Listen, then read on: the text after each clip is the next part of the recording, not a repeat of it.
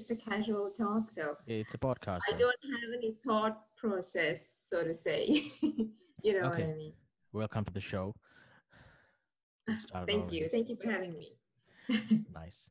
So yeah, how's life? How has uh, the COVID nineteen situation affected you?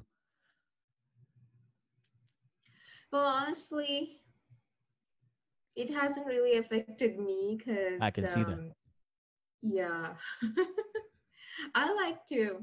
I like solidarity, so Okay. I was not like this before, but I don't know. I kind of, can I say, evolved into sort of an introvert. Okay. So You you're saying know. that you were never an introvert? No, I don't think so. Nah, you were a social person. Yeah. To an Yeah, I think I was just a- a- at a point where I'm actually I was actually trying to figure myself out. Yeah, I I I, I realized that being an introvert works the best for me for myself. Yeah. Okay. It works for a lot of people. Yes. They just don't. Um. They just. It just takes a while for them to realize it. Some never do. What do you reckon? Yeah some, some never do. I mean they just um, keep kind of um, hurting other people getting hurt by other people um, lying to themselves lying to others you know just like that. It's just they just don't realize it. Mm. but I, I i felt like um, having a small circle of friends and um, being an introvert is the best for my peace of mind and good for my spirit and my soul. Okay, that sounded so personal when you um said that. I'm not going to dig into details though. Yeah. well, yeah. So, uh, where are you exactly right now? Like, I mean, you know, which area, and how has it Um, affected your day-to-day work? Um, well, I live in Georgia, like the south of the US, and in a city, called Columbus. Okay. Uh, pretty laid back city if you compare it with you know the big cities like New York and Washington and other places. Mhm. I mean, pretty much, it's a very routine driven life here. You know, it's just like it's as if we can actually predict predict people's um, what do you call it uh, lifestyle and what they're going to do during the weekend or the weekdays. It's just very routine oriented life here. All right. They don't uh, generally deviate from it. That's how I feel like. But you like it though, right?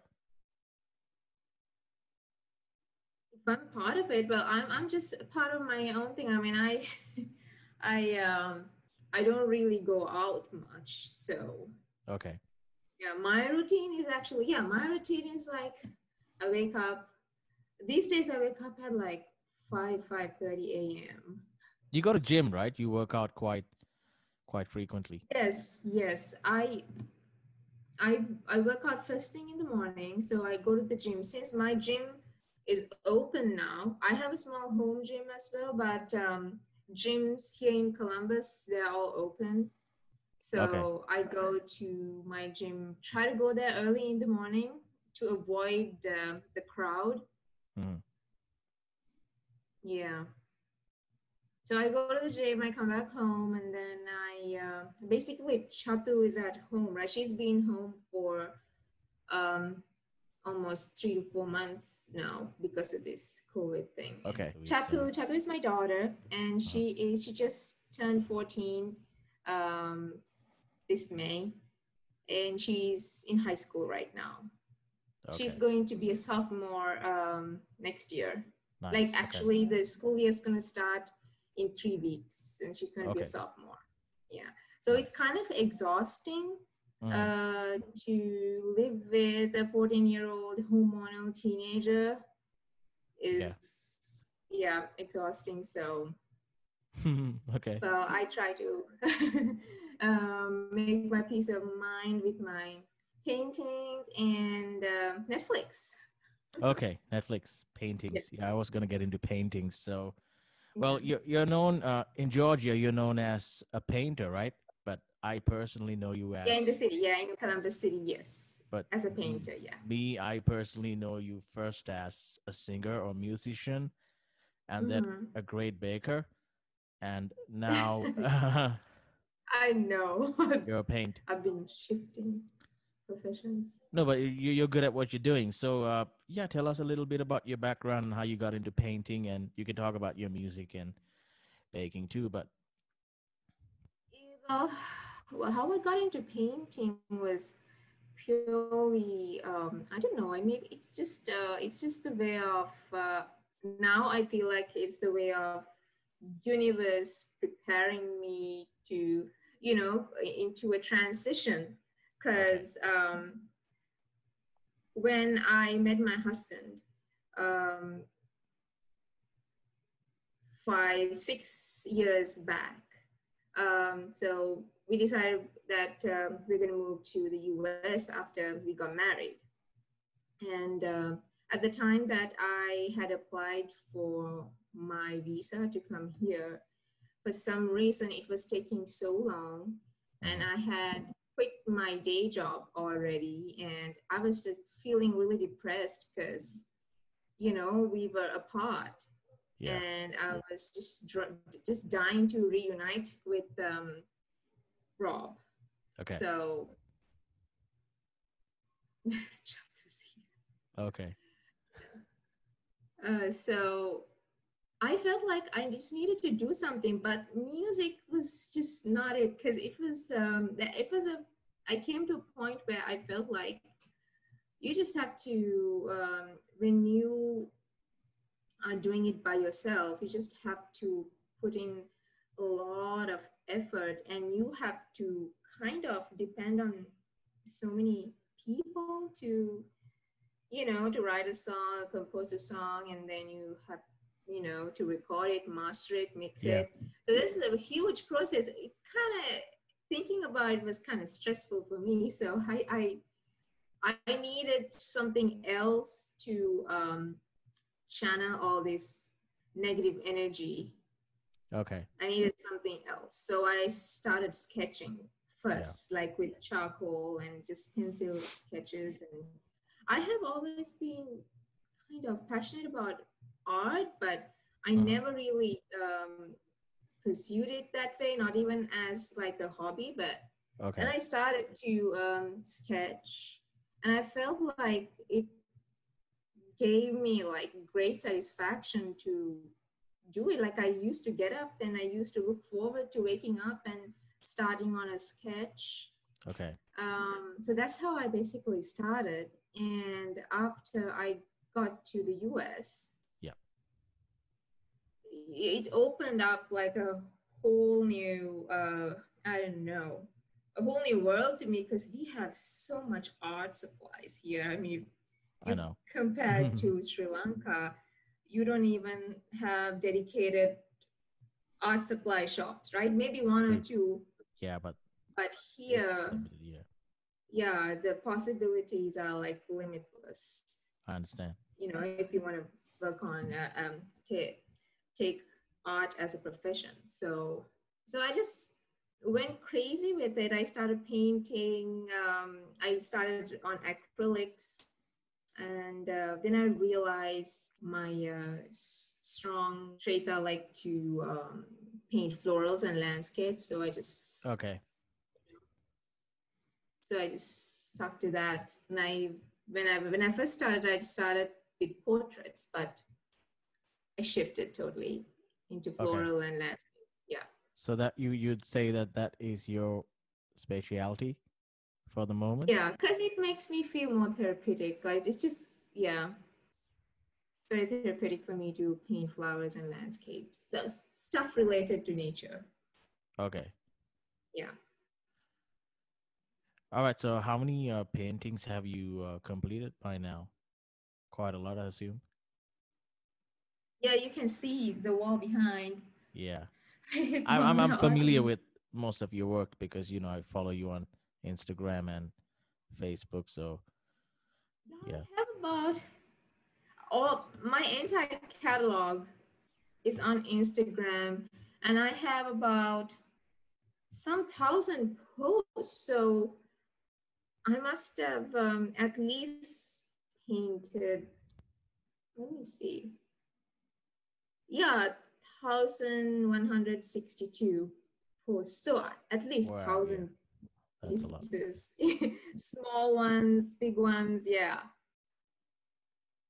Because that's okay, and the, and the reason that I was able to do so much paintings was so af- after I got here, my husband got deployed Okay. to first Afghanistan and then um, then to Riyadh, and he's been away for a very long time. It's been two years since he was in Riyadh, and he he was supposed to come back about two months ago, and the COVID struck, stuck here, so he got stuck there after COVID got struck Okay.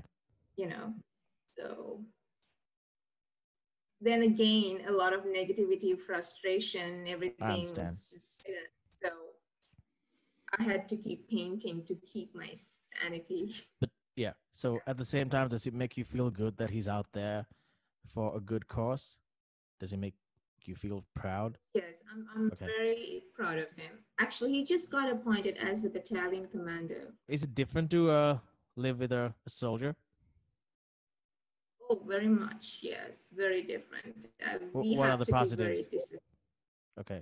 positives are like um, we're very organized Okay.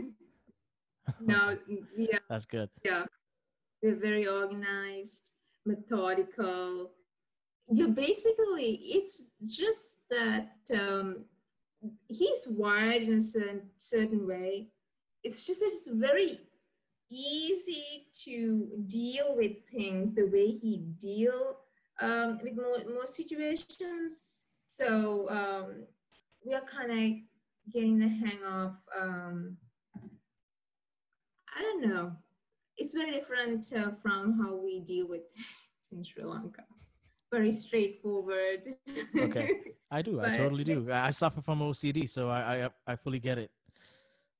yeah, apart from OCD, I mean, I, I really, really um, love the fact that he has OCD because it made I was such I was such a messy person when it comes to you know my filing and oh my gosh, and he he he kind of transformed me into um, something else. Is it at Yeah. like a Sheldon Cooper level or no, not so much. okay? Yeah, I mean, he is, um, he hates clutter. Yeah, so do I. There is something lying around. He wants at least them to be lying somewhere organized. It's not like that he washes his hand like every uh, 10, 15 minutes. Not like that. I do that. not oh, of course. It's a, if, if I uh, compare him with you, no, he's not like that. He's, Okay. he's very OCD about um, keeping the house neat and clean, I feel you. and his uh, filing in his office, the gym. Oh my God! and Especially his garage, like everything has to be, and the way he places his shoes has to be faced uh, in a certain way. It's actually he told me it's a Korean thing. Oh, by the way, he is um, half. He has German roots Okay. as well. He's half Korean. So, All right. so I see a very little Korean resemblance on him, though. You you can tell when when you know when you know, but yeah, you were saying something. Sorry. yeah, so I think most of his traits have has been passed down from his mother as well. I think that apart from being in the military and um, the fact that he's very disciplined has passed down from his mom to him Okay. has been a very he he has had a very strict childhood uh, with his mother. And Koreans are and highly organized. Koreans, like I've had many classmates back in the day, and ninety nine percent of them are organized. So I'm assuming that it's a mix of both. Yes. let's talk a little bit about your paintings. Like, I mean, you've been featured on national or local television over there.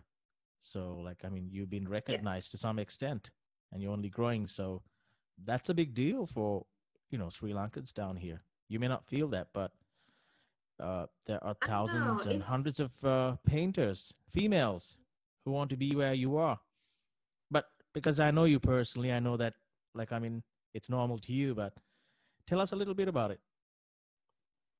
Uh, First of all, I have to say that um, I I'm very thankful for this small community here in Columbus for like welcoming me into their small arts circle and um, treating me like one of them. You know, even though that you know I just just came from a country that some people never even heard of. You know, hmm Do you still get that when you like uh, walk around and meet like new people, and when you tell them where you're from? Do they Yeah, I? I'm, telling you about uh, 70% haven't heard um, of Sri Lanka. Yeah. I mean, especially the yo- younger generation, no, but the older ones, I think They don't. people who have been, uh, like, there are a lot of veterans here, like war veterans. Okay. I would, when I talk to them, they immediately know what Sri Lanka is and they know it as Ceylon. hmm Yeah. But uh, the, the younger generation, they, they have no clue about Okay. Sri They don't have a clue. Okay. No, they don't know. They With don't all know. the technology around them. Okay. Yes, I don't think Sri Lanka gets. It Uh, matters, it's not yeah, much in the yeah. news, you know. True. We are not. Yeah. I had a friend like I knew her for two and a half years. I realized that she thought that Sri Lanka was like a part in India, like like a state Yes, or I something like that. that too. And that was so funny. It took two and a half years for us to figure that out. So yeah, people like that too. yeah, um, I have um, some people ask me whether uh, Sri Lanka is a part of India, and I Mhm. tell them no. Hell no. are I mean- yeah, I mean, I have my not- reaction. that is my reaction all the Yeah, time. That It's pisses me like off. we are like, separate. we are not so like different. them. Yeah. yes. I, I have nothing against Indians. You know, they're nice people and, you know, they have a great culture, great country. Um, they have a lot of good things and things that doesn't work for me. So you know th- that's that's that's how we have get their reaction right true, true, true. yeah i know i know a lot of people um asked me if it's a part of india so yeah i was i was saying that i'm very thankful for this community for just letting me in and letting me be letting me be a part of their um little art circle Okay. and i have i have to say that i have had so much support in such a short period of time and i'm thinking um, i had my family my friends and a lot of people in sri lanka i s- struggled a lot when i was doing my music for basically probably about five years five to six years maybe Okay. but within a short period of time here um within two years i i've i feel like i've achieved something Yeah, you were featured on I mean, to TV. I mean, level. not once but twice, right? On tv yes twice Yes. yeah um just leave being on the television aside but the fact that um we we have these monthly auctions so so Okay. far um i have sold a couple of pieces um, during every auction um, art auction and uh, i have shipped um, to other states as well Okay. yeah so not only in georgia i have like um, i have a piece going out tomorrow to actually pennsylvania which is really Nice, cool okay. and yeah so i feel like people are accepting me more i feel more accepted here for some reason That's great. Yeah, yeah I can see that. Please. I mean, like, there's no, there was no discrimination saying, oh, she's an outsider. I mean, why should we let her in? Why should we let her be a part of our gallery? Nothing like that. I, I haven't felt any discrimination Well, yeah, that's that's something great about the USA, right? I mean, I, I understand that a lot of people will not agree with me because you know they consider the states to be a racist country, but these are the positives, right? Yes, definitely. If um, if you really want to achieve something and if you have the will and the commitment, it's a great place to be. Your paintings uh, in Sri Lanka, were you recognized for your work or was it too early? Oh, yeah, it was way too early. Like, um, I just um, started getting uh, familiarized with the techniques and you know different art styles and stuff. So i was just kind of experimenting in sri lanka and uh, no i don't think um, i was recognized in sri lanka because i didn't even um, try because i was just trying to get over a phase through mm. my art um, in sri lanka. You know it's just trying to uh, keep my mind away from all that negativity just you know quitting my job and waiting for the visa to process. So it's just I I didn't. Uh, no, I never intended to like sell my art in Sri Lanka. No. Are you are you planning on having an exhibition sometime in the future when when you know the COVID situation is back to normal or under control? Yeah, that's what I was actually planning this summer. Like um, I was actually I was telling you right that I need to yeah. uh, find a place we for me to stay. Yeah. I wanted to kind of um, travel with you guys to yeah. different places True. like historical places and you know maybe get a nice snapshots and paint um, those landscapes that's that's what i was planning to yeah one day okay. i think i would like to do that don't you feel like you already have enough paintings to um, have an exhibition even a small I one? do, but I don't know whether they will actually appeal to the Sri Lankan art enthusiasts because they have people here have very uh, different tastes. Like they love flowers. Like okay, here most women they have a favorite flower, and they nice. would love. Okay. Yeah, they have a favorite flower, and then they like to. They most of them have their favorite animals.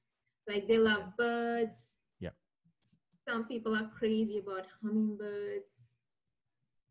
You know, and and they're very passionate about the Columbus city so any landscape paintings, we have this place called the river, uh, downtown um, Columbus.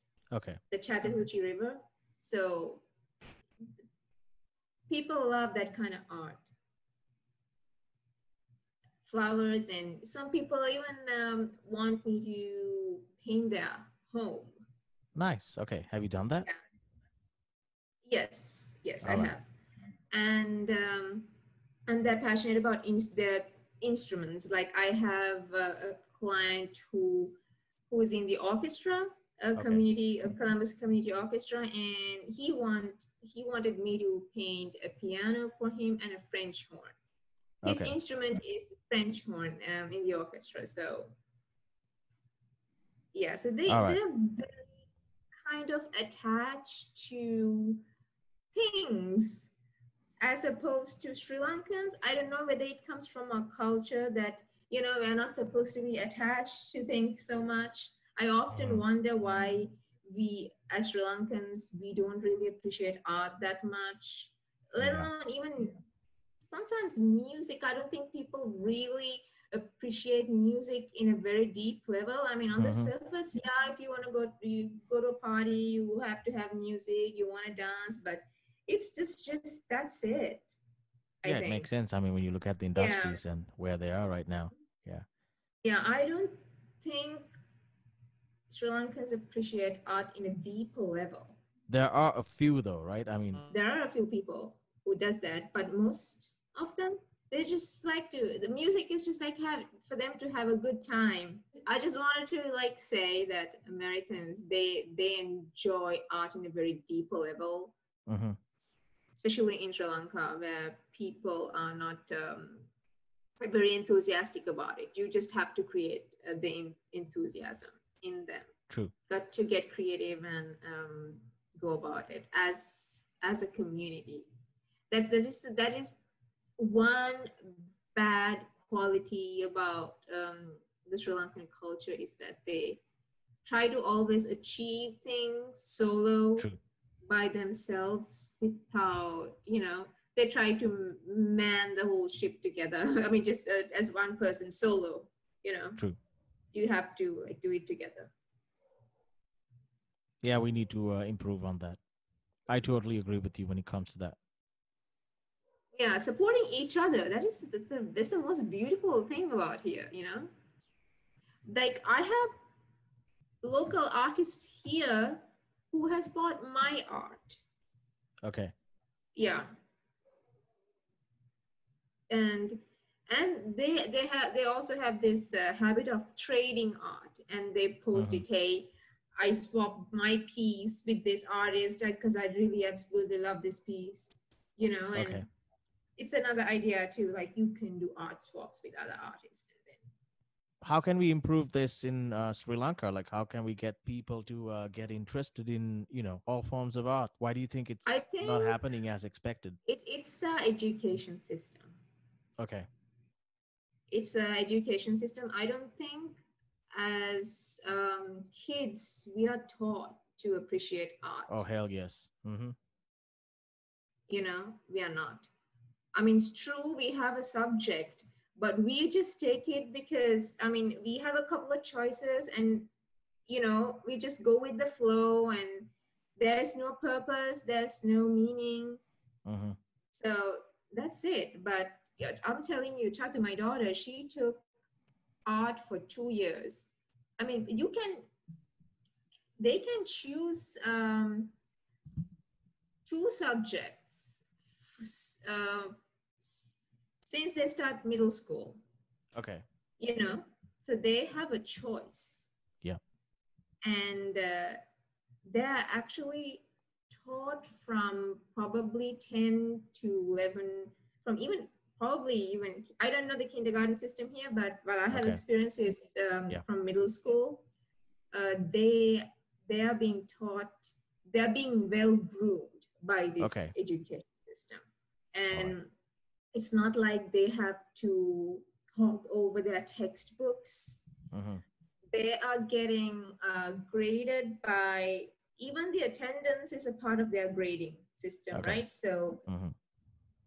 the attendance behavior and then the amount of homework and the assignments that they complete the the grading is just not a test paper for them okay if you know i understand yeah. And, mm, the teachers are like uh, always um, part of something else other than the you know their subjects that they teach. They they Okay. do cheerleading. They do these extracurricular activities and clubs and mostly they're very passionate. The teachers are very passionate here. all right So sounds I like they they love what they do most of them they love what they do, and they're very. Most of them are very kind and concerned, and uh, I think that that that passion is is being passed on to the kids through Okay. them. correct me if i'm wrong but my memories are where most of the teachers that i encountered were miserable they hated themselves they hated Yes, their lives I- it's going to be very offensive if I say that. So I I I often just sit and think like, oh my God, the art should have been my profession from the beginning. Mhm. But one of the one of the reasons I when I was a kid, like when I was four, five, six years old, I loved to paint. I'm telling you, my mother was very supportive of it. But then, like, I remember, I remember when I was a kid, the first thing I wanted to be was an artist. I clearly remember that, right? And Mhm. I expressed that to my father, and he was like, What? Do you know that the artists are the most poorest people in Sri Lanka? He Mhm. shut me down. He burst that bubble, you know, in a way. what he said was true but i understand what you're trying to mean yeah Yes, but of course he didn't have uh, what do you call it? He didn't see uh, how the future is going to turn out to be. But that for an artist now there are so many possibilities. It's just Mhm. not just painting on a canvas. There is so many avenues of art, true including fashion designing and uh, interior decorating and all sorts of other stuff. Right? he didn't really give any thought to it and i know that uh, my parents were not the type of parents whom i could get career counseling from Well, okay. you know Yeah. definitely not because uh, they were not the type to sit down and just have a conversation they were not Mhm. like that That generation, I, I I feel like they are like that, more or less. yeah and me being a person who gets easily bored with things and i want to learn a lot of things so i think life is just too short for one profession True. I agree with you. honestly Yeah.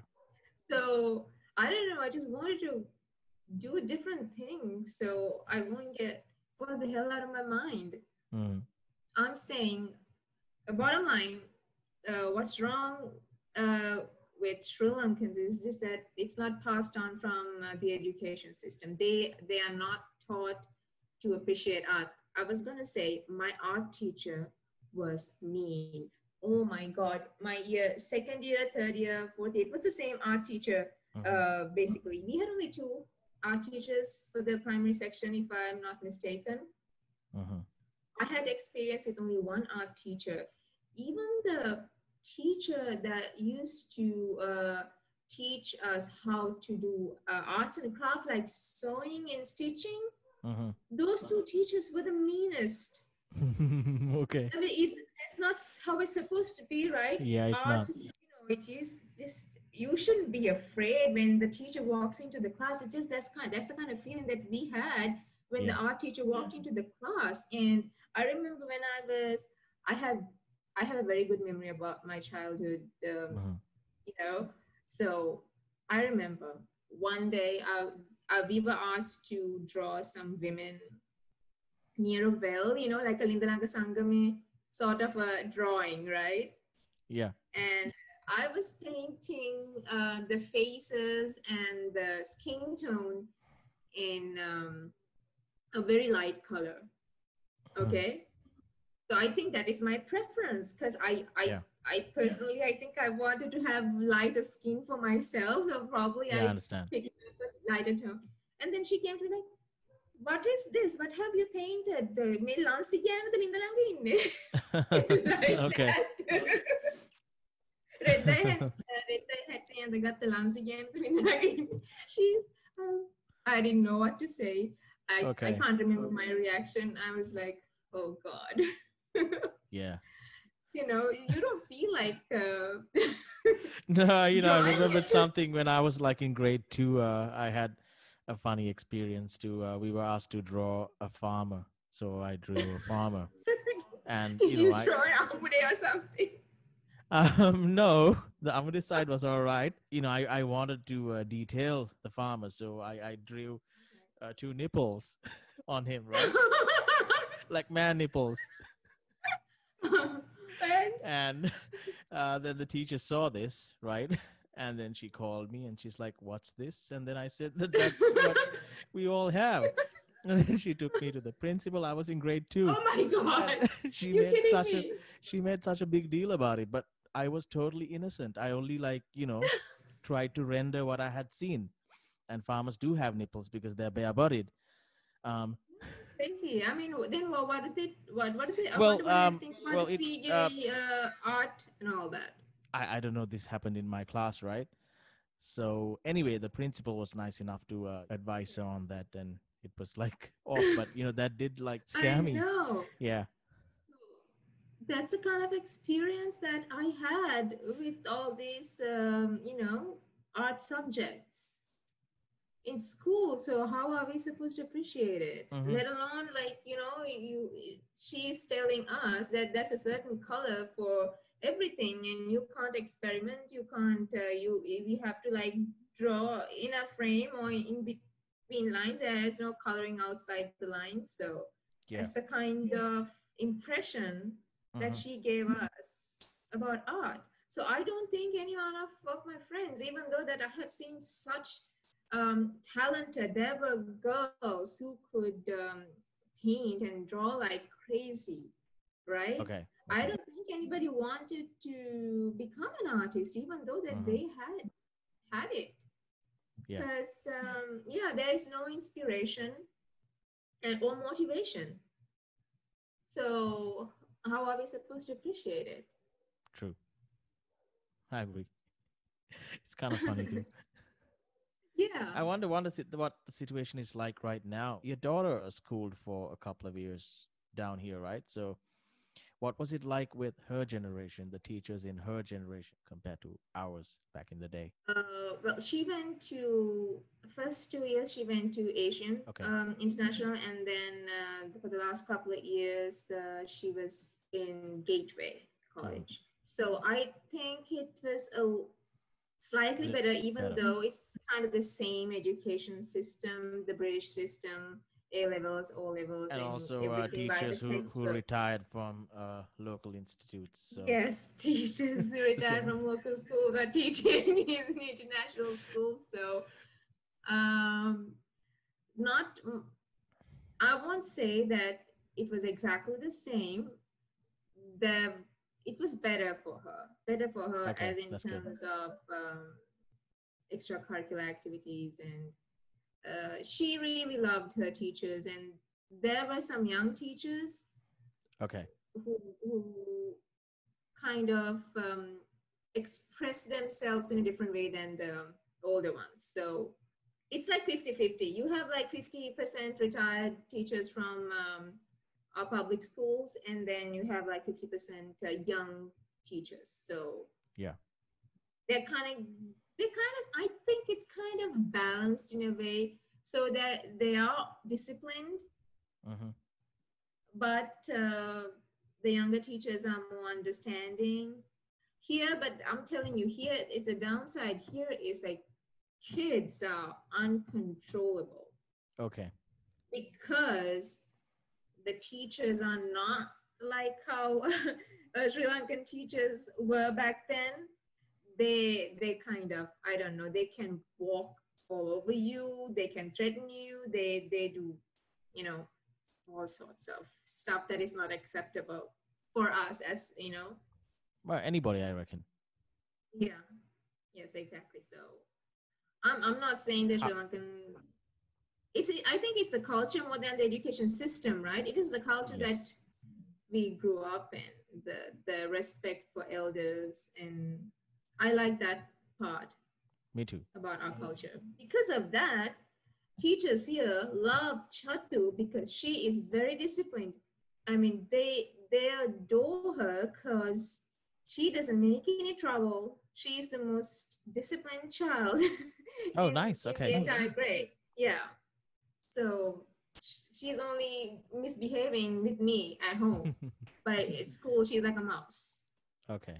Well, that's that's Yeah. all right as long as uh, it happens at home, I guess. Yeah, and and I know, and she's she's a child that who always wants um, approval. She just she just want the teacher to like her.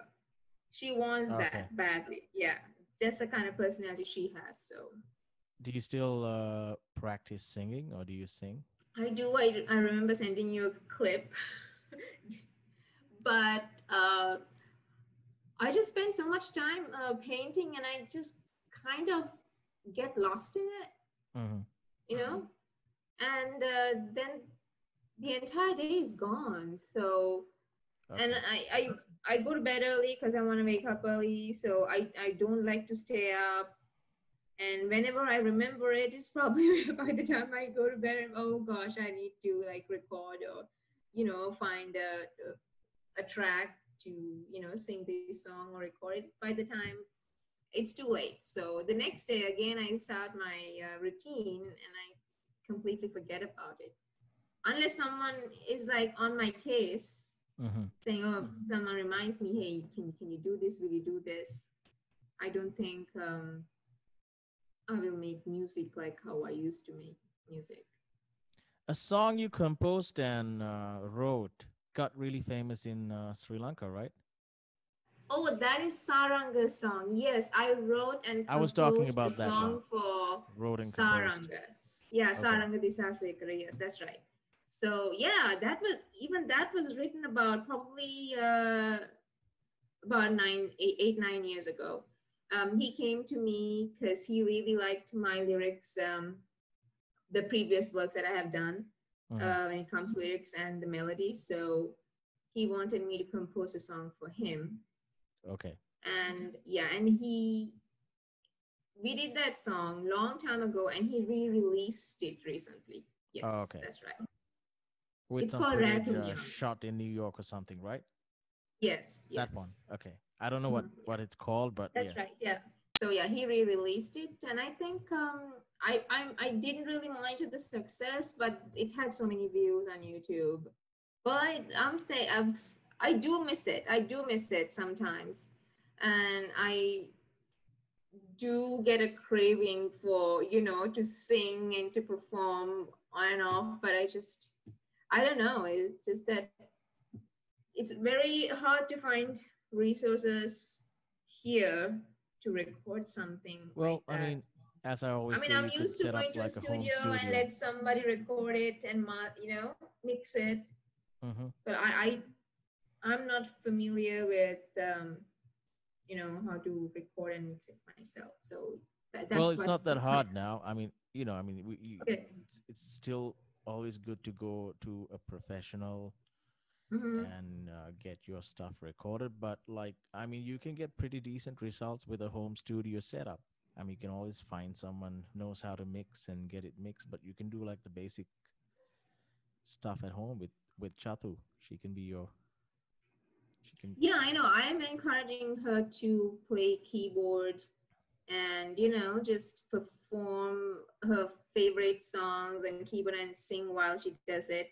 I encourage that a lot. I even, okay, these days she's so into gaming. She has no other world uh, apart from that. So I told her I'm willing to pay her to perform at least a one minute um, song. And now she's she's working on it now. Oh, nice. Okay. Because she's getting paid for it. She's quite an artist too, right? I mean, she's been in commercials and she did a music video. I was uh, at the shoot too. She's a very artistic child herself, and she can paint. Um, I think she she can paint better than me. She's a natural at it, and yeah, and she can sing too. Mhm. But these days, I worry about kids because each and every talent that they have is being suppressed by social media. hmm all they want to do is to follow people on TikTok and impersonate them and do whatever they do because that's cool. TikTok was banned in India. You know that, right? I know, I heard. I told her that, but I don't think um, I don't know. I don't think it matters. This crazy, stupid content in social media. It's just Mhm. I try to ignore it because if I start to um, see each and everything that she watches, because they're just, I don't know, I think they're really stupid, stupid stuff. But they're not inspiration. I'm telling you, they're getting No. um, Yeah. influenced by all this um, useless content. hmm And the, the, the younger generation are highly provocative, right? Like whatever they see on social media, they easily believe it, very easy to brainwash them through social media. Yep. So I don't know what's happening with the younger generation. Their brain is not being stimulated the way it should be, you know.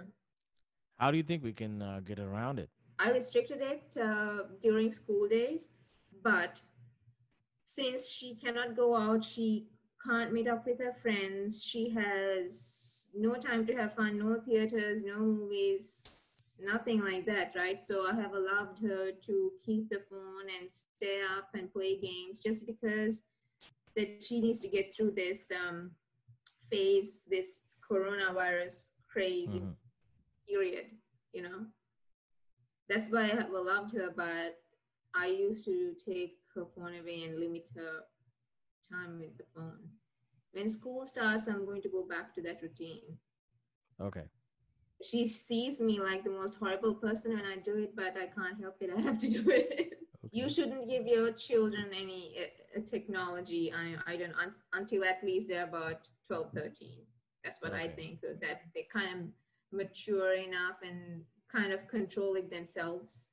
You are saying that kids shouldn't be using Facebook, Instagram. Nobody uses Facebook. These kids, they they hate Facebook.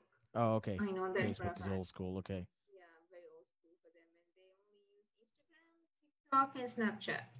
In most They're cases. watching yeah. all this useless content. Hmm. Um, I even um, I can't remember what what's it's called. FaceTime? No, FaceTime. Downtime. Whatever. There's this uh, app in um, Apple phones where you can actually restrict each and every area. It's kind of like a parental control that you have on Apple phones. Now Oh, she's a little too grown up for me to do that. She's now She turning 15 that? next year Okay.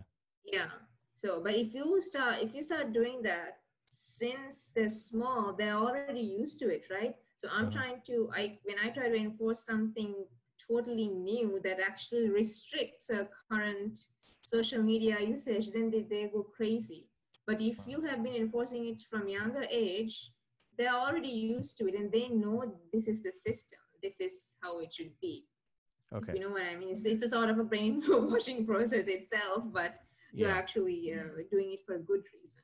Like my kids are like But you know five and a half and seven so they use the device and you know they have a time they can use it maybe they're too young for instagram but right now they they don't like do anything they're not supposed to and i Mhm. kind of have like access to what they are what they're watching so i keep track of what they watch and if i find something unsuitable for them i would ask them why they watched it. Sometimes it's accidentally sometimes they saw the thumbnail picture and they got curious so someone recommended it on a different channel. And what i do is i just bluntly explain like good and bad and why is it harmful to them. Uh, the good thing is they get it. They haven't gone behind my back so far. Maybe they're too young but right now uh, they use the device uh, appropriately and if they want to use it yeah, that's longer, the thing. If you're giving them a device, you should um, you should do it wisely.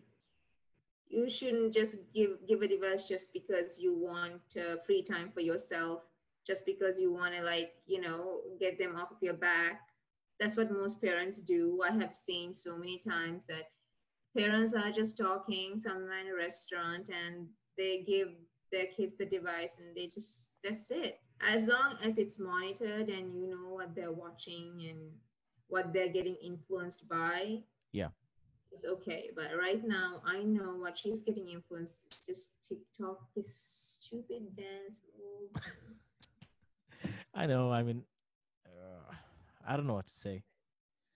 Yeah like i have an instagram on my phone as well right? Yeah. So when I click on that and when I see her homepage, your your explore page reflects who you are, right? true Like when, I go to my explore page, it's all about some nature pictures, paintings, and maybe couple of couple of food pictures, right? Nothing apart from that. And sometimes randomly they will have some celebrity stuff Yeah. and then I immediately go and click saying this is not my thing, and I then they remove it okay because I yeah. want my explore page to be very clean and reflect when when I see hers, I go absolutely crazy All right. because it's this celebrity, that celebrity, and some dance move, and I don't know what.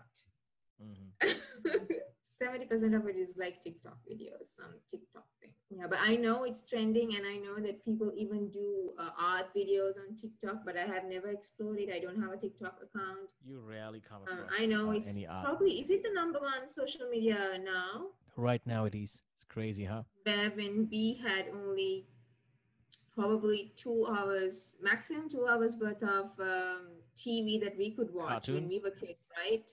yeah that that because that's that was like from four to four thirty or five o'clock the cartoon time. To uh, five thirty, and on some days uh, up to six. yeah, I remember my the one and a my uh, weekends were like were really colorful because of Voltron and Thundercats. Oh, you liked Voltron and Oh my Thundercats? God, I love it. Two two Yeah. cartoons I love. But They like, should make it's a, like they a should guy make thing. a movie Okay. of both. I think.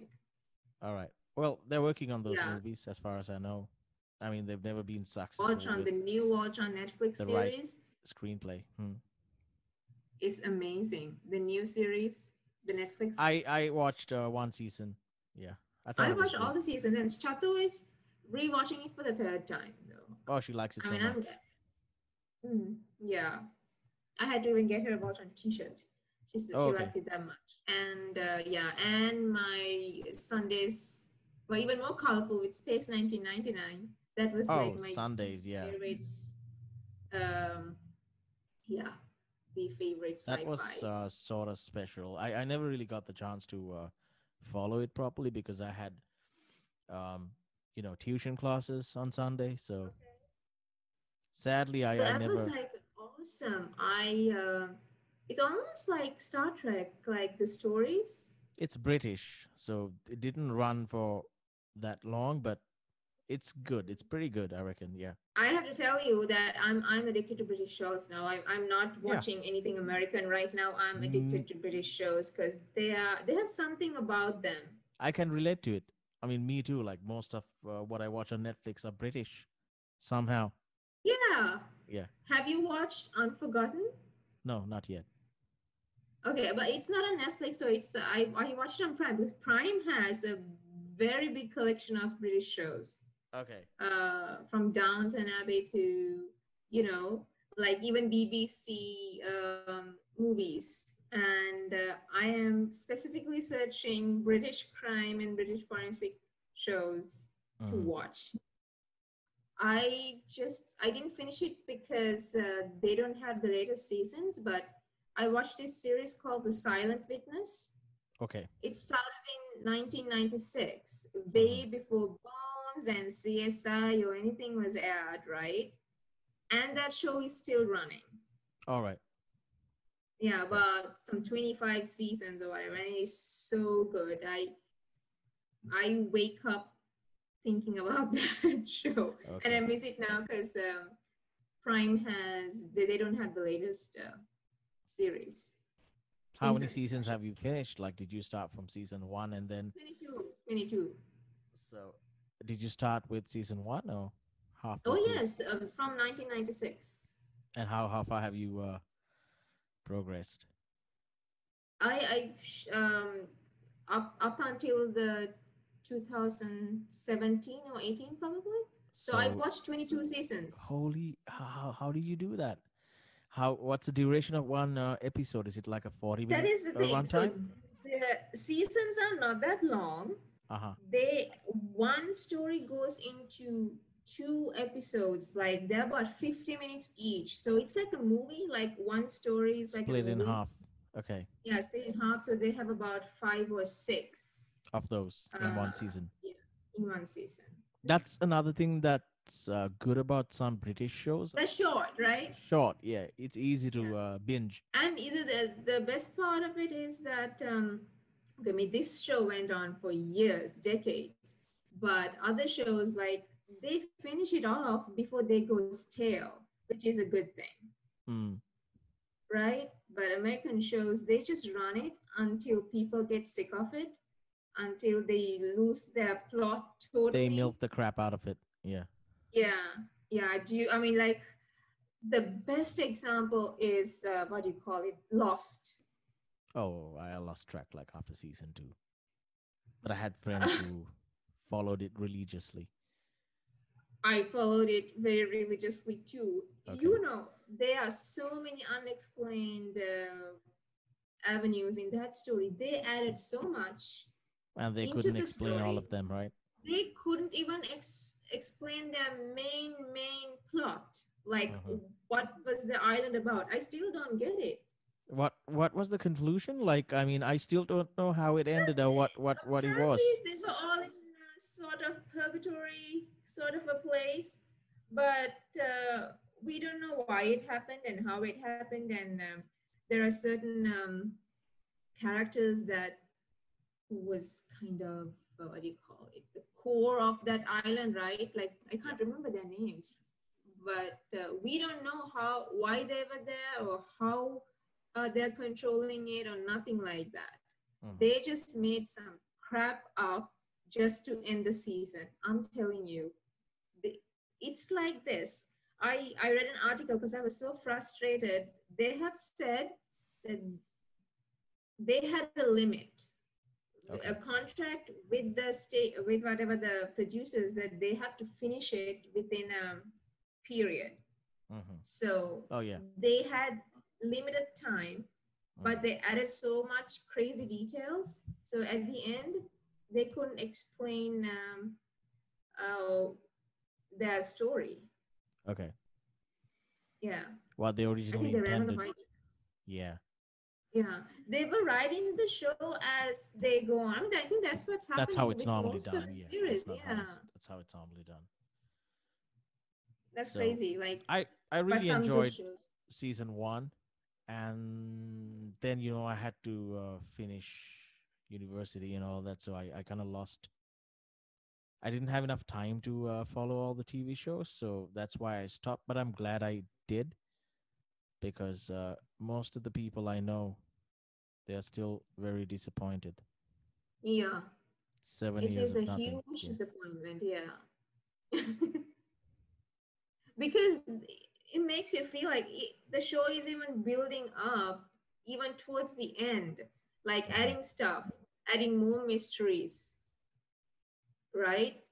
So they just kept adding more questions rather than answers in that show. That's how I felt. I mean, I feel like it was uh, produced just for uh, you know the people views. lost watching just for ratings. seriously. Yeah, yeah, yeah. Well, that time is over. People don't accept stuff like that anymore. Mm, But yeah, I'm, I'm glad that I'm into British shows now. Like, um, and I I'm also into more light-hearted shows now. Like, I'm watching something called The Grantchester. Grantchester. Okay. Grantchester. The Grantchester. Yeah, it's about a priest who likes to solve crimes. Oh, I may have seen that. Okay, is it good? You Yeah, like good. detective I- stuff, I right? Uh-huh. I love uh, forensics and detective stuff. And also at the same time, the these TV stations they cancel the good shows for no reason, right? Well, yeah. When they realize that they can't generate enough views, the views that they want, um, they cancel it. Probably. Have you watched the. OA? The way they stopped. It's like they were supposed to do the third season, and all of a sudden they canceled the show. It was Mhm. a very good theory about um, how they can transfer their conscience. People transferring their conscience into a different timeline, and uh, yeah, it's very interesting. Oh, that's my type of thing, huh? But I should check it out. You liked uh, the German series, right? Dark. Did you finish all seasons on that? yes. They didn't come up with the next season. I don't know why. Season three? Yeah. Oh, Did- it just came out on Netflix. Yeah, it just released a couple of days ago on Netflix. Really? I didn't see that because I've been watching Prime and all these British shows, and I'm not getting alerted with the other stuff now. Oh yeah, you can check it out on Netflix now. It's uh, it's out now. I hope they haven't ruined it. So far, it's been Hopefully like not. really good. Yeah, that's some good TV.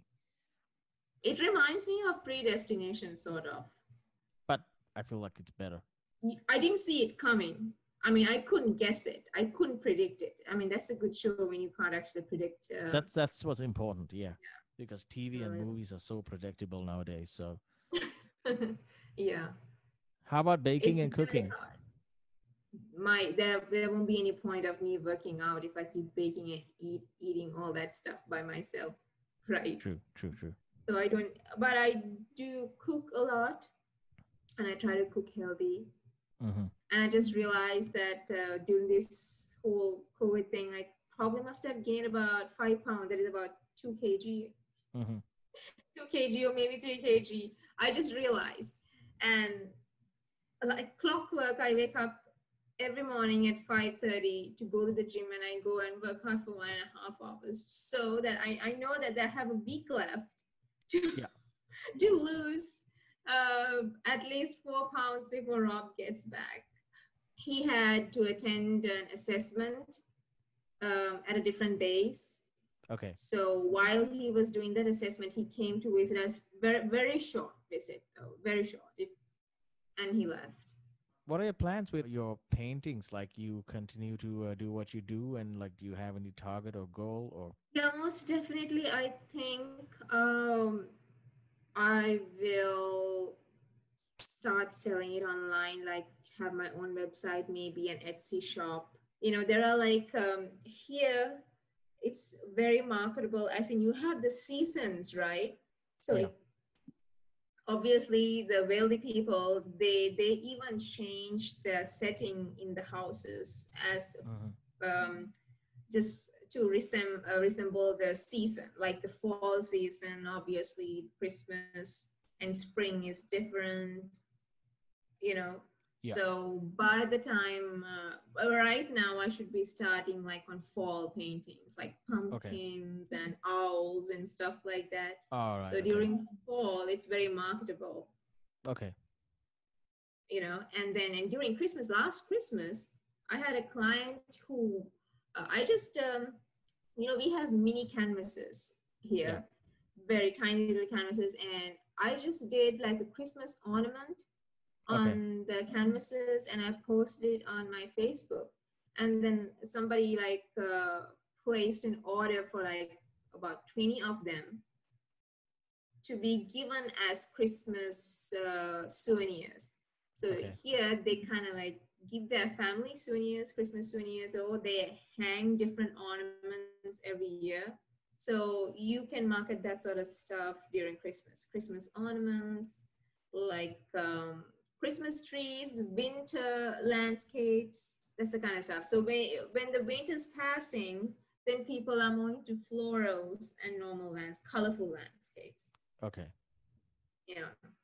so you you can sort of like plan yourself for the year Mhm. um, depending on the seasons it's very interesting Okay. so yeah obviously my target is to have my own website and to have a, a bigger kind of um, clientele when it comes to this because we'll be moving from columbus in a year Okay. because Rob is going to be placed in different base most Mhm. probably in about another year after he finishes this contract here in Columbus.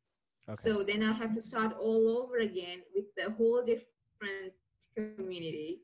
So it's better to have an online presence already true. True. to be prepared for that. But you do have an online presence, right? Uh, I did, list- in fact, I did uh, uh, mail my some of my uh, paintings to Japan and Germany.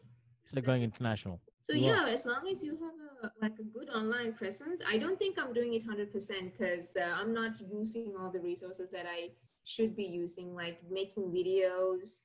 I know that Mhm. the trend on IG is like people love to watch videos rather than um, uh, they have more views. Yeah. So I mean, I should be doing stuff like that to gain uh, uh, more audience. Okay. So how can uh, the listeners uh, find you on IG and Facebook and other platforms that I go as Art by Chinthika on I'll have it um, displaying on? Yeah. Okay. yeah on Instagram. So on uh, Facebook, I go as Chin Brandstetter. That's my art page. Okay. And um, on Instagram, it's Art by Chin. I do have a Twitter account that just goes as Chinthika uh, Brandstetter, but I don't post my artwork on Twitter. But I'll be soon having an Etsy shop and my own personal website.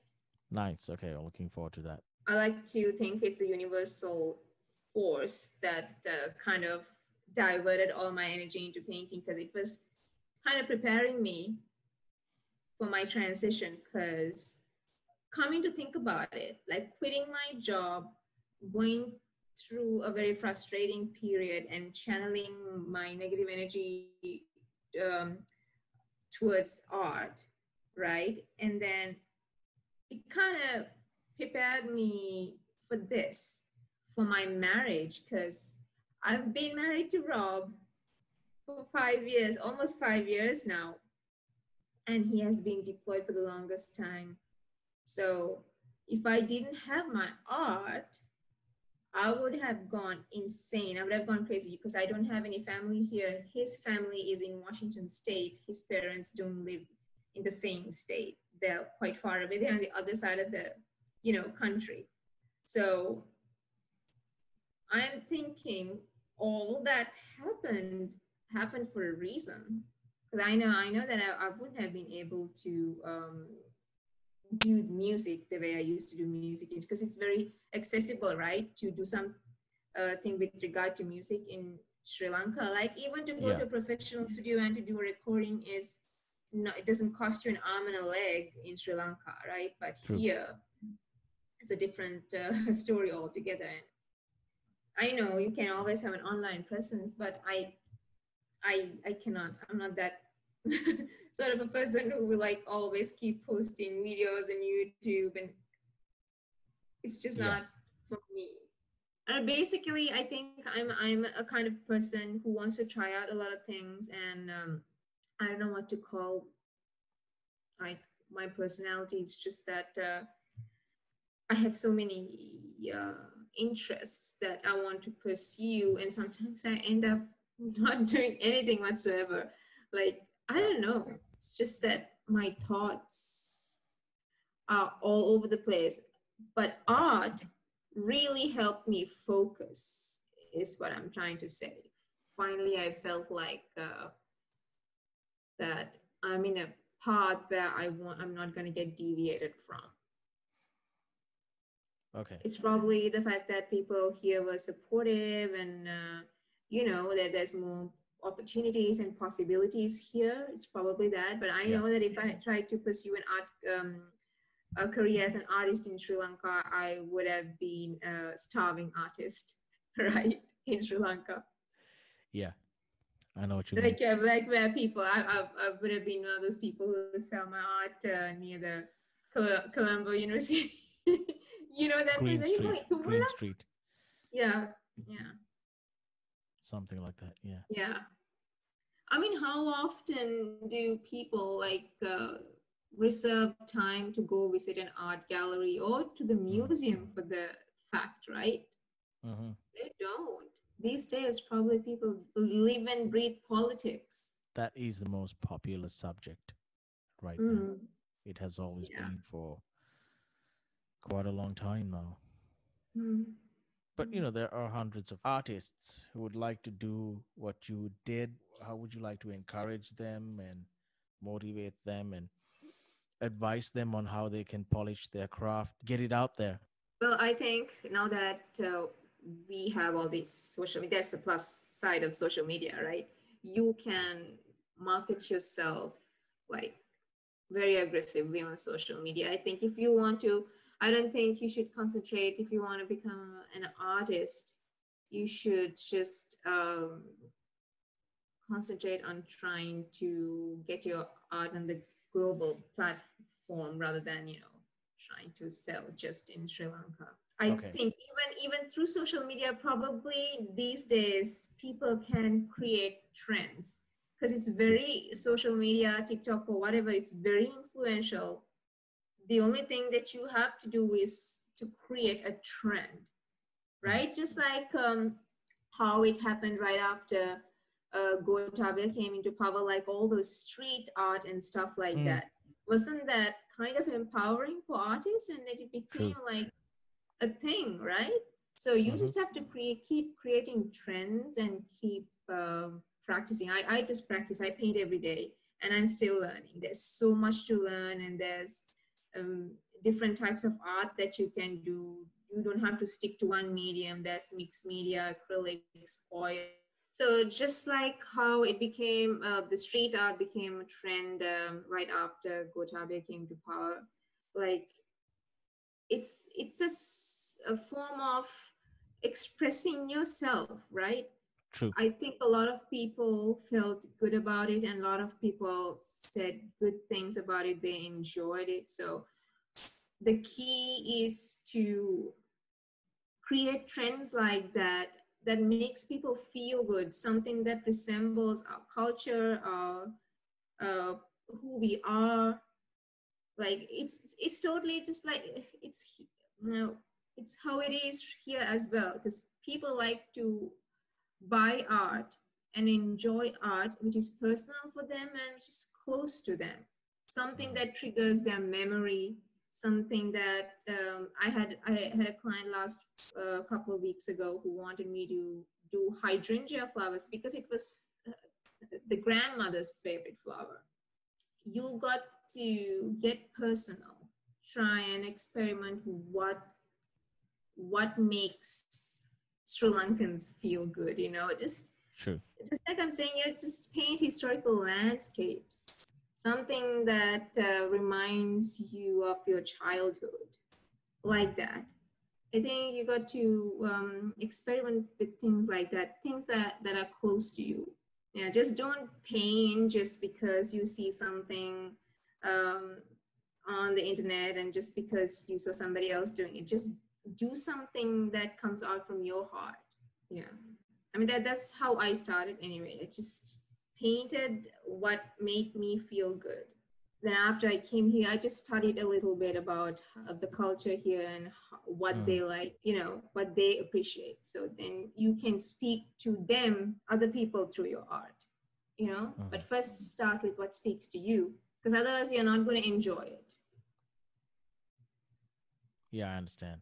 So when it comes to uh, the negatives and all the hurdles that you need bypass, well, at the beginning, you might feel like, okay, nobody wants to, you know, enjoy your art or buy your art. You might you might feel like, okay, this is just um, not a fruitful thing to do. But I'm saying you shouldn't stop because you got to create that trend and interest in people yourself? Because in sri lanka I'm, I'm talking specifically about sri lanka right? Sri, sri lankan people has to be stimulated. Mm-hmm. and obviously you can't do it by yourself. Like here in columbus we do it as a community. You know we share each other's art. Because we i have friends who do different types of art. So if okay. you can find other artists who has different styles. You can promote each other, you can do collaborations. So you can't do it by yourself. You have to do it as a team, as a community of artists. Okay. I think that's the most important thing. I don't think that the artist community in Sri Lanka is uh, in sync. I don't think they are, because you have to work together to to develop that um, art trend in Sri Lanka. You can't do it as a person you have to do it as a, a whole lot. We have um, artist guilds here, like different galleries that, that artists are a part of. I think okay. there should be more galleries in Sri Lanka, more art right. galleries, right? And like I said, you can't you can't just as one artist, you can't just open a gallery by yourself. Even mm-hmm. when you keep exhibitions, don't just do a collaboration. Get together with um, if you don't have the financial um, aid to fund an entire uh, exhibition yourself get together with a couple of artists who has who doesn't contradict your style. You know? Okay. it can even be jewelry making. It can even be any other craft. It doesn't have to be paintings. So you mm-hmm. get together with different artists and um, do a show so that way you have more audience, right? You will bring more people in yeah. for exhibition because through the other artists, there will be more people, right? That's that's how we actually do it here. Mostly. Okay. Like so that's we, what worked for you, right? Yes. That's how you that's got discovered. Yes. I actually did okay there's another tip i can give you like i i did host an exhibition at my house Okay. You can always do that. It is the most simplest and the easiest thing to do, right? And actually, I'm telling you 100%, all the people that came here, they all bought something. Okay. Because I served them drinks and snacks and all that, and they had a very good time. And honestly, that that's how I everything kicked off. Mm-hmm. My neighbor, my neighbor helped me. Okay, this is how I actually uh, I should have told this before. I have to mention my dear, dear neighbor, Cheryl, Cheryl Braxton. She used to live down at the cul-de-sac in my lane, right? Uh-huh. I painted a watercolor Christmas card and I put it into her post box. Uh-huh. And I have not even seen her because we were very new to the neighborhood at that time. And then one day she came like a guardian angel and she knocked on my door to come and actually thank me for that card. I mean, nobody so else nice did. I did Okay. yeah i i put like about five or six cards in the neighborhood but she came and she knocked on my door and she thanked me and then she kept going on and on and on about that i shouldn't just paint like that you should do something with it that it's Okay. beautiful and she she just framed that little tiny piece of paper and she still has it and Okay. uh, till now she's she's been my biggest advocate she has about probably easily 10, 10 pieces of mine at her house Okay. yeah. So she said, she gave me this idea let's have an exhibition at your place. You have so many paintings because I had just kept painting, right? And I didn't know what to do with it. It was just lying everywhere, all over the house. So she said, Okay. okay, we'll choose some good paintings, we'll put on a good display, and we'll do an art show at your place. And Okay. we just served some wine and some snacks, and a bunch of ladies came, and it was a huge hit that, that was All right. kind of like a real confidence boost that um, I I got uh, to had to kind of like kick, kick it off. Okay. Yeah, so you That's guys can also do that, you know, because you have friends, you have family, friends of friends. You can invite them as long as have as long as they have food and some drinks. People will come, and you don't have to overly price your art. That's what I did. I mean, I I said uh, this is the normal price of my art. Today, I'm every, everything is like 50% off just because y'all came to my place and you're, I, that's how I did it. So basically about 40 people came and almost all of them bought something. Okay. Some, some of them like bought a couple.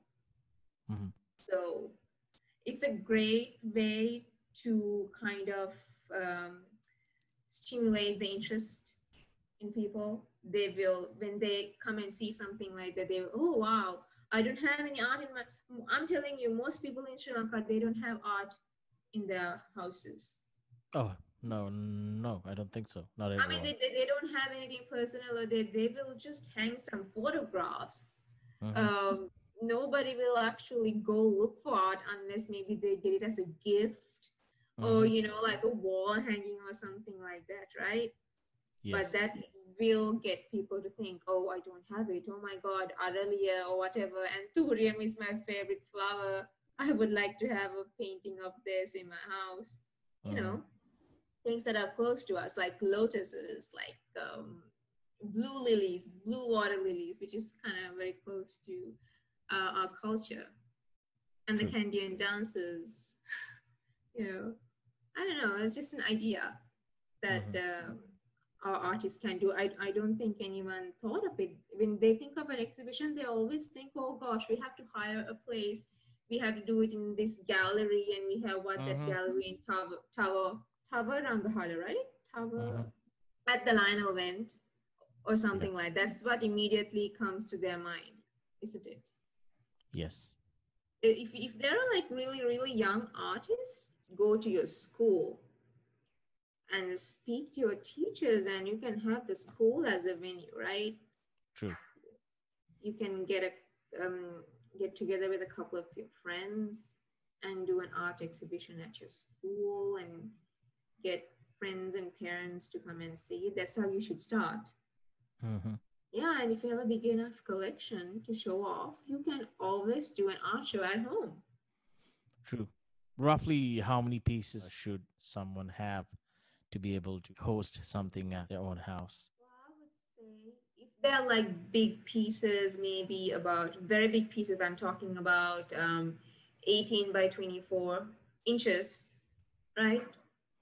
Um, you should have a mix of sizes because no one can afford, like, not everyone can afford big pieces, right? So, what I had was I had a couple of, uh, I had a pile of really really small watercolor pieces about 20 25 of them and then i had Okay. the small you can see these 8 by 10s True. and this, they're just small and quite affordable so i would say more of that size 8 by 10 about at least um, i would say depending on the crowd that's going to come there i will have at least about 15 to 20 pieces of the medium pieces and Okay. then five to six relatively big ones.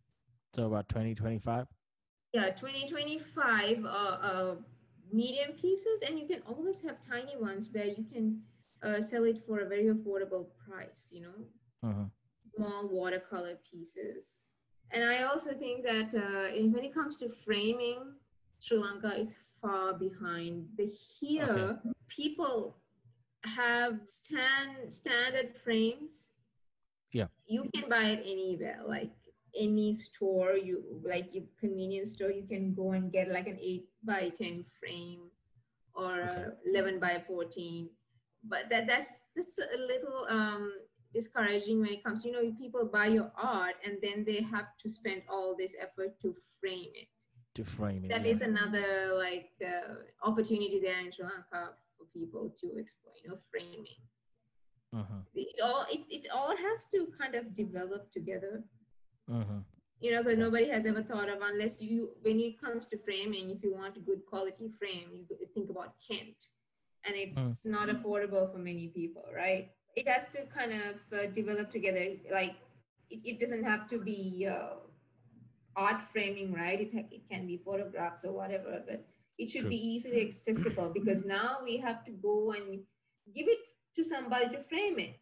It's a bit of a mission. Yeah, but here you just buy the standardized frame and uh, you just put your picture in it. All right. It is so simple. Now over here, definitely it's a bit of a mission, as far as I know. Hmm. Yeah.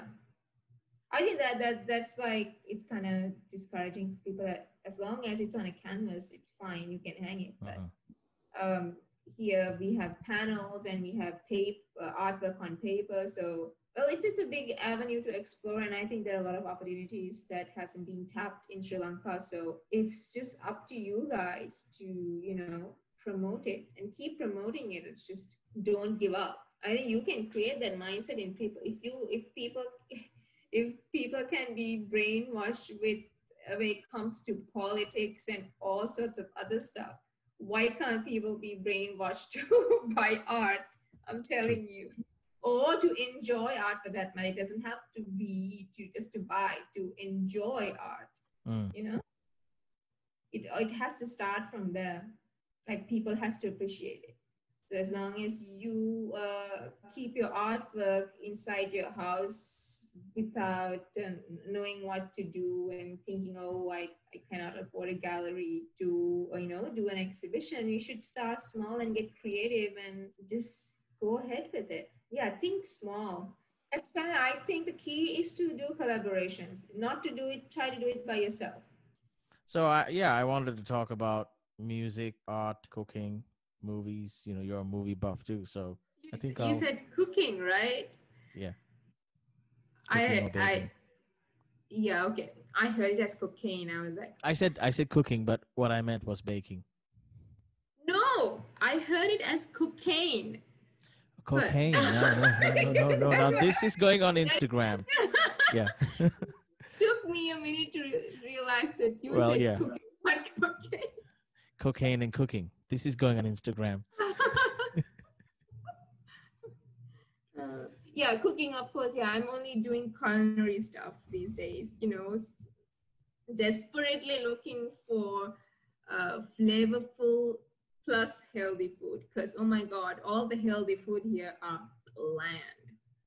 I'm telling you, I have never had a satisfying meal here. Okay, when I first came here, okay, I thought, hey, barbecue was really tasty or whatever, but you get tired of it pretty fast because they put so much sauces and sugar into it. Um, Chinese here, like Chinese in Sri Lanka, is so spicy, but it works with us, right? Even though that it's overly spicy. Chinese here is extremely sweet, Mm, even it. Yeah. including Indian. And then uh, Mexican food here is just loaded with cheese, and there's no authenticity in any of these kind of, even though that like there are so many Hispanic people here. There are a few authentic Hispanic restaurants, but most of the Mexican places are like just, I don't know, all Americanized fusion stuff, right? So nothing is um, satisfying for me. I sometimes like I think I sometimes feel like I would do anything to go to Sri Lanka and have a lamprais. you know? yeah, to me, to me, the food looks really good over there, but it doesn't taste as good as it looks. No, except maybe the Asian ones like the Korean food and the Vietnamese Okay. food. But they are also very limited. They have they have only a few selection of dishes that would appeal to the same, you know, Americans here. So they Hmm. don't really uh, give us the entire thing. Okay. You know, they have a very uh, few choices, but they're they're good compared to the American food and the Hispanic and the Chinese. My God, Chai! I am never having Chinese here. I don't know, maybe in New York or in Washington, maybe they have authentic places, but here it's just, I don't know, you feel so unhealthy after you have that kind of a meal. You feel like you have poisoned yourself with sugar. It sure does feel like that. Yeah. Yeah. So that that's the thing. I want to just come to I'm dying to have appa and idiappa and You could pay a visit to Long Island, where the largest Sri Lankan American community. Uh, how are we going to do that now? I'm telling you, we, uh, unless this they oh, lockdown! Damn, I forgot. Yeah. yeah. Yes. Can't do anything. Mm. I I probably they must be closed down.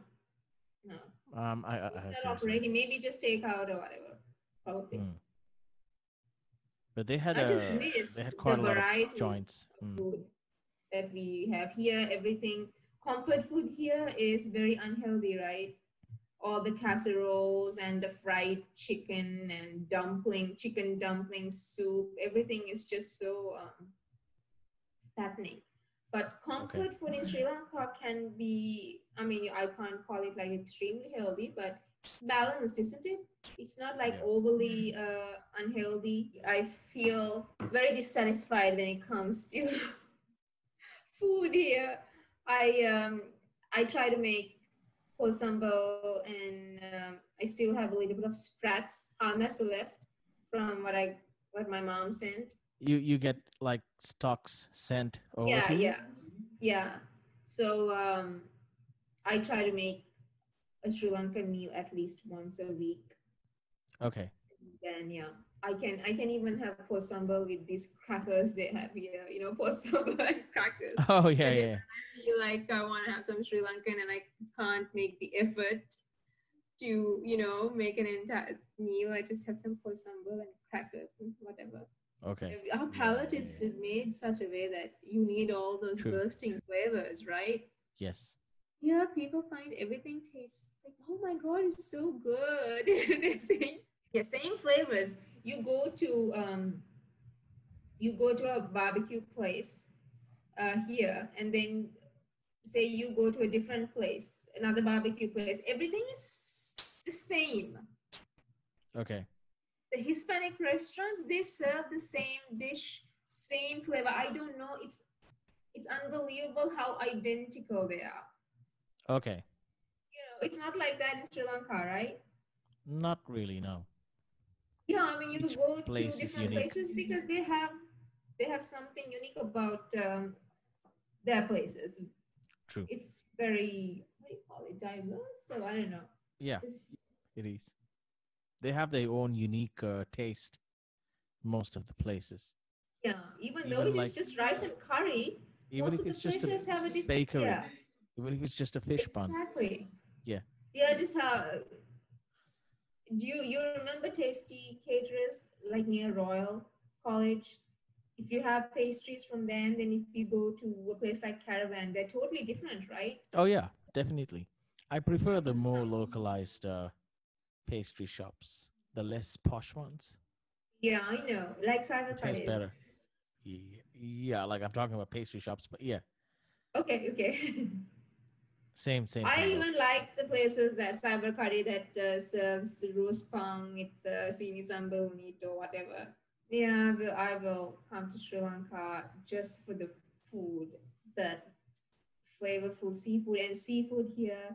We don't have fresh seafood because we're not close to the beach, Mhm. and most of the seafood that we get is frozen. and the shrimp, some of the shrimp are like already boiled and cooked and frozen, and they have zero flavor in it.